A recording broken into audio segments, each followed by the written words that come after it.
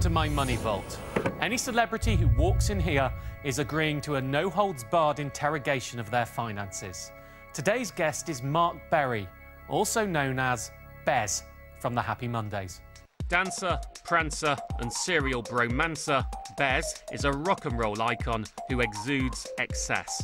Reality champion and man of the people, after selling millions of albums and dancing his way around the world, how much money did he actually make? And has he managed to keep hold of it? Time for Bez to enter the money vault. Now, what fascinates me, you're in the Happy Mondays, incredibly successful group, and you were effectively, you were there to, to dance, but you weren't singing, you weren't part of the, the No. music. So did you get royalties? Well, I do actually, yeah, and um, and uh, yeah, I get royalties, and is I've only just recently admitted to being a dancer. So, like, what do you do? I, well, I, I dance, you know what I mean. But I can d- actually say it now. So, The Happy Mondays started to get successful. I mean, it must have been quite a shock because you, I, I suspect you weren't in it for the money in the start, you were in it more, more for the fun. well, uh, yeah, well, I was in it for the fun, of course, and we thought, like any young band we all thought was the best thing since sliced bread. You know what I mean? And uh, But you were lucky because many other people thought the same. Yeah, well, that's if you ain't got that uh, self-belief, then you shouldn't really be in the game, really. You know what I mean? Do you remember your first big pay packet at that time? Uh, well, I do actually. The first big one we did, I remember we signed a deal with uh, London Records at the time. We got given four grand straight away. Uh, and we were obviously rushed out and spent it all in one go. How old were you? Uh, I was about 22, 23. I mean, it's quite interesting. If you forgive me saying so, you're also quite quite known for being um, one of the part of drug culture of that age. As well as being expensive in their own right, you, you lose your financial constraints and your inhibitions. Did you find that a problem? Uh, no, because I don't actually worry about uh, finance because obviously being the person I am, I always find a way of making a bit of Yankee dollar when I need to. Well, this was interesting because y- you you won Big Brother, didn't you? Yeah, well, I did actually win. I am champion, but uh, yeah, uh, I did win Big Brother. Yeah, but it actually did me no good financially. Well, it did because I managed to pay off a tax bill what he had. Right.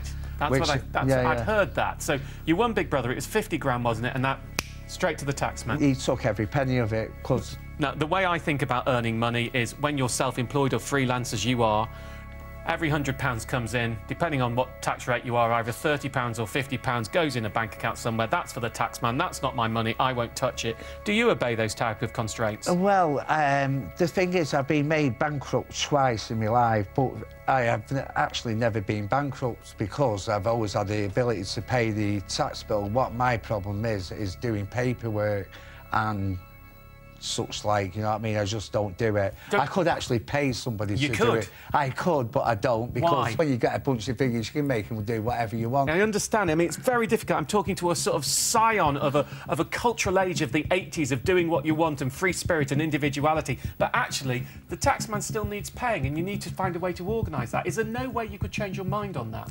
Well, there is. I could um, start keeping proper accounts with the business that I've set up. That that has been taken care. I've got merchant accounts set up because we're going online. I was going to say, Yeah, please yeah. tell me you're not doing it yourself. No, no, I'm not doing that. So I've got uh, somebody who's a lot more capable than me to take care of that side of the business. I hope. Have you got a question for me, Bez? Yeah. Uh, well, the main question I've got really is, uh, you see America who's got like three trillion pounds worth of debt. You've got Britain in a similar amount of billion pounds worth of debt. We've got Europe in a quagmire of its own, you know what I mean, with the euro and all that. And what I want to know really is who is lending all the money to us, you know what I mean? And why are we paying it back? Why bother, you know what I mean? First of all, you're right, money is a big lie. Yeah. I actually agree with you, but it's a good big lie for the way that we live. The key to money is that what we have is we all get these pieces of paper, and this is a means of exchange. And if I don't have this piece of paper, I'm going to have to trade with you everything. and Yeah, I'm going to say, I'll give you my 10 cabbages for your for your bottle of beer. And you Yeah, go, I don't want 10 cabbages. So I have to go and find Johnny over there to take 10 cabbages. Yeah, and he'll but- give me 15 carrots that you do want. And money is a shortcut route Yeah, to doing that. yeah. In terms of the debt, it's all in the system. It sloshes around the system. People owe it to each other.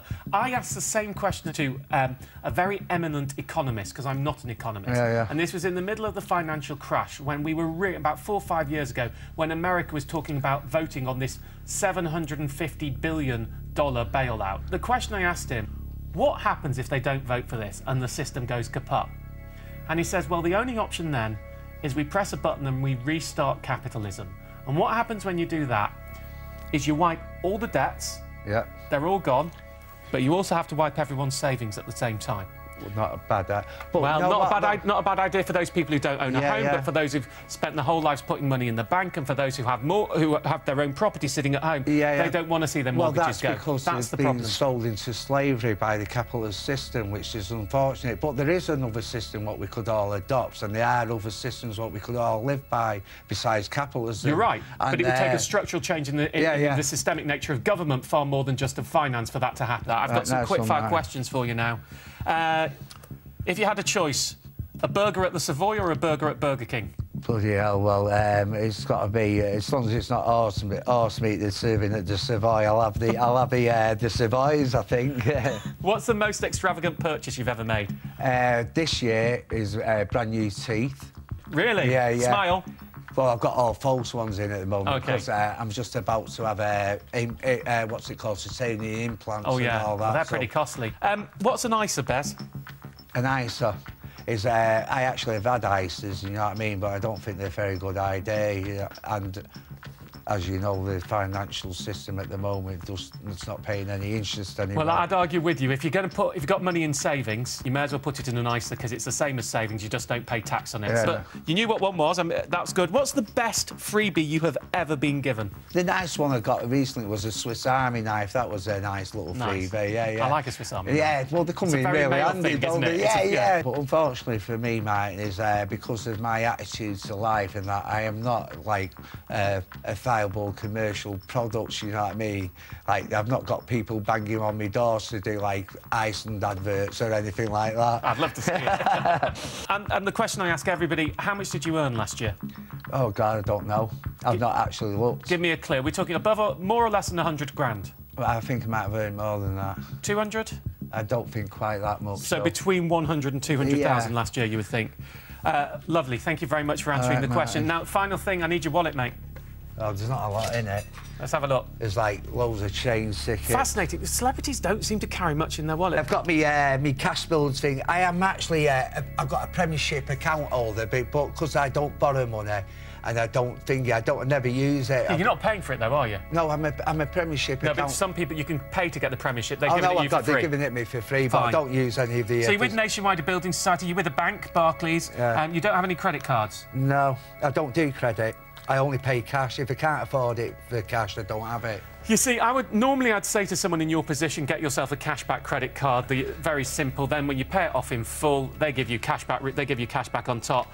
But you know what? For a man, if I'm genuinely honest, having met you, for a man who doesn't fill in his tax forms and, and doesn't get anybody to do that, I think we just everything needs to just be as simple as possible in your financial keep it. life.